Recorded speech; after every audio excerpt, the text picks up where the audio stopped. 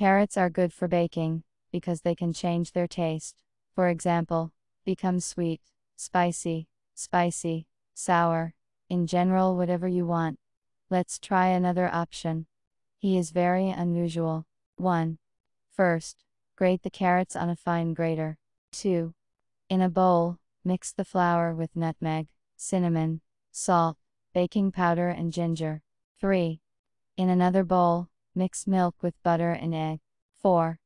Then add the dry mixture to the milk. Mix everything together. 5. And then add carrots and chopped nuts. Knead the dough. 6. Next, bake the pancakes in preheated oil on both sides for 2 3 minutes. 7.